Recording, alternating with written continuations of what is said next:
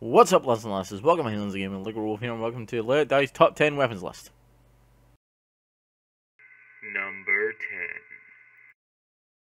Alright, let's just get straight into this. Number 10 is the only long-range weapon we actually have in the top 10 list, because there's that many like rifles and shotguns and snipers and all that, that I figured they deserve a list of their own. So, this list will be primarily melee weapons, but except from this one weapon, because I think about making a top 5 for the long-range weapons. But this weapon is the nail gun. Uh, it does some decent damage, as you can see there, this is like floor one, and it's like getting him like two hits. So, yeah, it does some decent damage, and that's like at the start of it before it even gets leveled up. But when you start to like level up and learn its skills a bit more, it does more damage as every other weapon does. And the only downside I would say to it would be that it's L1 or R1. It's like kind of strong attack. Isn't strong. It's the it's a melee part of it and it's just weak. It doesn't really do much damage. I mean, I don't see the point in it, but yeah, it's weak. What would have been better is if, you know, they done it so that it would be a strong hit, and then after it hits, they shoot, it shoots the nail. Then it would be cool. It would do a bit more damage, but it doesn't. So yeah, that's what lets this weapon down. That's kind of why it's not gonna be in the top ten, the top five long range weapons list. But yeah, it is a good weapon. And its Gore-tastic is kind of cool. It's not the best, but it's kind of cool. Just show you now.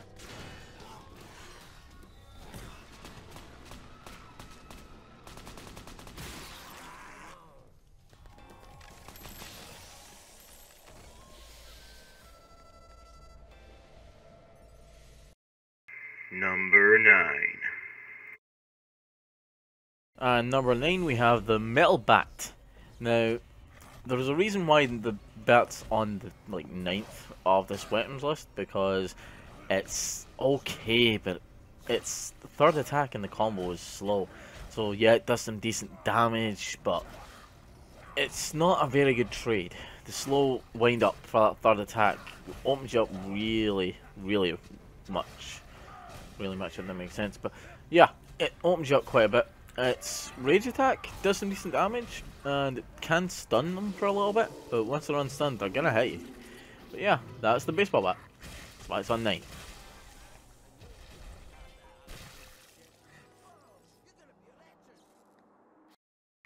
Number 8.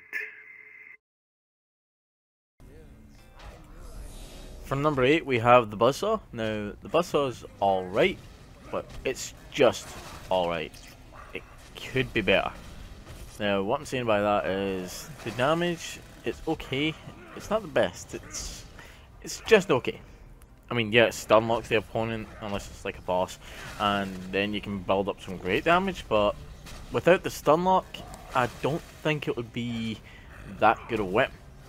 So the stun lock is what is put it on this list, and a lot of people seem to like it in the communities that I've been in and the forums and all that. So yeah, that's why it's on this list.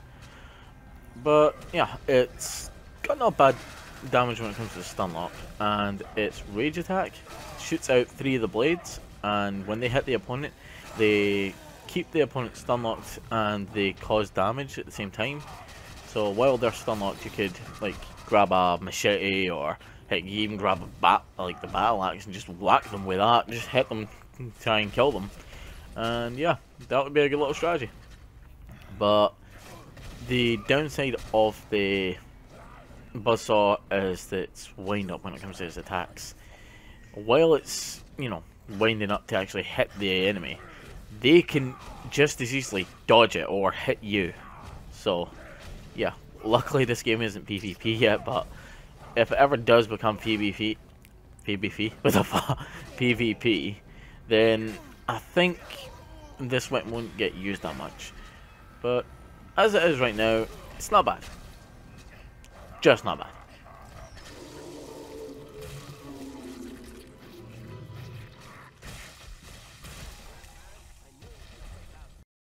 Number 7. And for 7 we have the Iron Hammer. Now, this is actually a nice weapon. It's highly liked in the communities and forums that I've looked online. And yeah, I can see why. It's a decent weapon.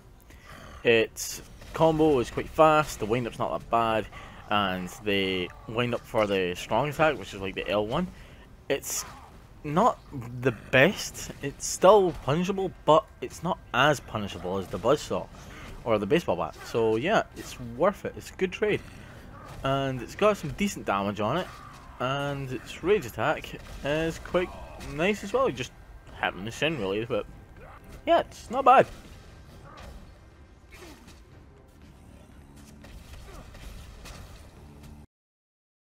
Number 6. And for number 6 we have the spear. Why not? It's a good weapon. Got good range. Damage is quite nice.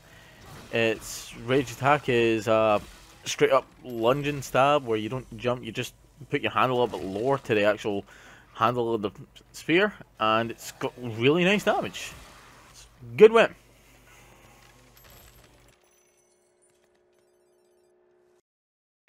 Number 5. And for number 5 we have the Battle Axe. Now, Battle Axe, it's got some slow attacks in it, it's mainly just its R2 that's slow, but it's L2 is quite fast, and it's, it's L1 and R1. They're quite fast as well, but look at the damage. It killed like Coin in like two shots. Enough said, it's a good weapon. Number 4. And for four, we have the Butterfly Knife. Uh, now, Butterfly Knife has got some good damage on it. It's really close, so the range isn't good. But its damage is quite good, and it's really fast. It's a really fast weapon. Its strong attack is a kind of lunging attack, so you stab and jump backwards. So yeah, you get yourself some distance after the attack, and it's a good weapon in general. Best thing to do with this is to equip it into your like your left hand or your right hand, and on the other hand you have like machete or sword, something with decent range. That way you've kind of covered the range. And its rage attack is just a matter of just continuously stabs the enemy. So yeah, good win. Number four, butterfly knife. Number 3. For number three, we have the claws. Now, claws, like the butterfly knife, not got a good range, but it really, really well makes up for that because its damage is great. It actually does poison damage as well, and it's a really fast weapon. Its strong attack is kind of like a it's kind of like a lunging, oh, not a strong attack, it's rage move. It's, it's a jumping attack where he jumps and grabs you, and starts slicing at your face. And yeah, it's a good whim. One thing I would say with this, same as the butterfly knife, equip a longer ranged melee weapon on the other hand. That way you've gotten rid of the fact that you've lost that range from that weapon. That way you've got a really good strategy, and this weapon was very well praised in the communities. Number 2. For number two, we have the longsword. Now, this was a struggle to put this between number two and number one, but I put it in number two for these reasons, and that is the attacks in it. They're not as fast as the other weapon that I've put in number one, but it's got some good damage, and it is a good weapon. Do not take that away from it. It is a really good weapon. Number 1. But for number one, we have the machete. And the reason why the machete is in this list at number one is because of how fucking fast its moves are and the damage it does. It's got the range, it's fast, it's got the damage, and it's just a great weapon in general. But anyway guys, if you like this video, hit that like button. If you're new to the channel, why not subscribe? If you want to see more lists like this, let me know in the comment section below. Let me know if there was any weapons I missed in the comment section as well. And remember, tear through those limits.